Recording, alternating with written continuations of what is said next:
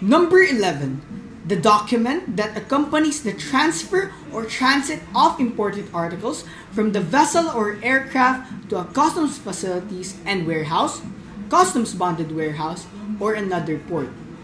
And it also serves as proof of delivery or receipt of the articles at its intended destination duly acknowledged on its face by the collector of customs or his duly authorized representative.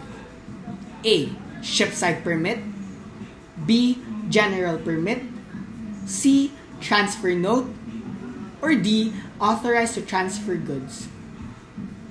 Number 12.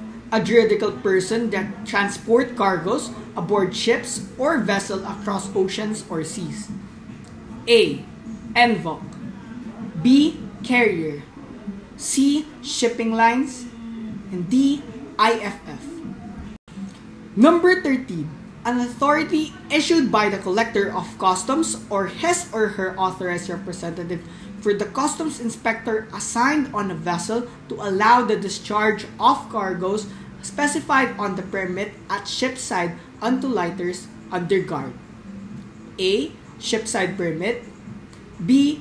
Authority to discharge. C. Discharge port survey.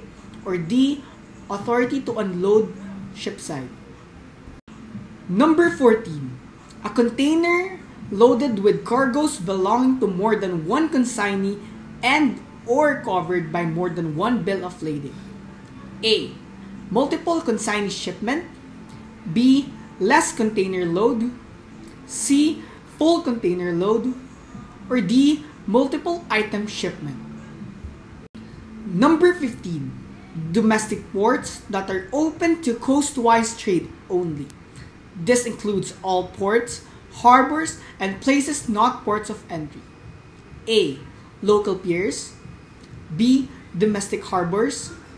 C. Inter-island seaports. Or D. Coastwise ports.